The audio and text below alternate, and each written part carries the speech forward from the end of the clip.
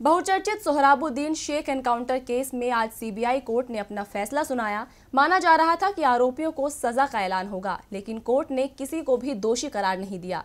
उल्टा सबूतों के अभाव में सभी 22 आरोपियों को बरी कर दिया।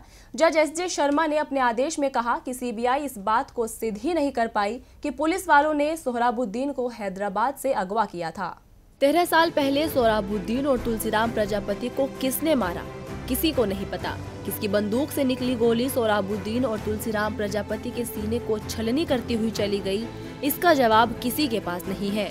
इस मामले की जाँच कर रही सीबीआई के पास कोई गवाह ही नहीं है। जो ये साबित कर सके कि पुलिस ने जो मुठभेड़ की, वह फर्जी थी। जी हाँ तेरह साल पुराने इस मामले में आज मुंबई की सीबीआई हाई कोर्ट ने फैसला सुनाया। जज एस जे शर्मा ने कहा कि हमें इस बात का दुख है कि तीन लोगों ने अपनी जान खोई है, लेकिन कानून और सिस्टम को किसी आरोप को सिद्ध करने के लिए सबूतों की ज़रूरत होती है। सीबीआई इस बात को सिद्ध ही नहीं कर पाई कि पुलिस वालों ने सोराबुद्दीन को हैदराबाद से अगवा किया था। इस बात का कोई सबूत नहीं है। हालाँकि कोर्ट ने इस बात को माना कि सोराबुद्दीन की मौत गोली लगने के कारण ही हुई थी।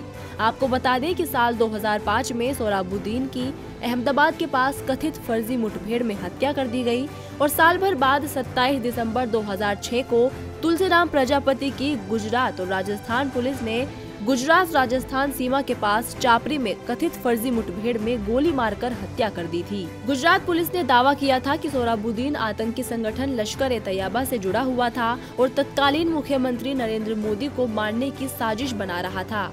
2014 में इसमें 16 लोगों को बरी कर दिया गया। बरी किए गए लोगों में भारतीय जनता पार्टी के अध्यक्ष और उस वक्त गुजरात के तत्कालीन गृह मंत्री अमित शाह और पुलिस अफसर डीजी बंजारा जैसे बड़े नाम शामिल हैं। ये मामला पहले गुजरात में चल रहा था, लेकिन सुप्रीम कोर्ट के आदेश के बाद इसे मुंबई ट्रांसफ़र कर दिया गया था। मगर अब तो सीबीआई कोर्ट ने सभी आरोपियों को ही बरी कर दिया है, जिसके बाद अब पीड़ित पक्ष में खासी नाराज़गी है। डीबी लाइव की रिपोर्ट।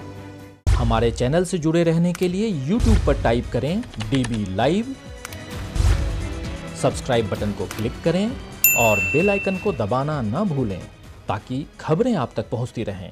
देखते रहिए डीबी लाइव क्योंकि यहाँ हैं खबरें लगातार।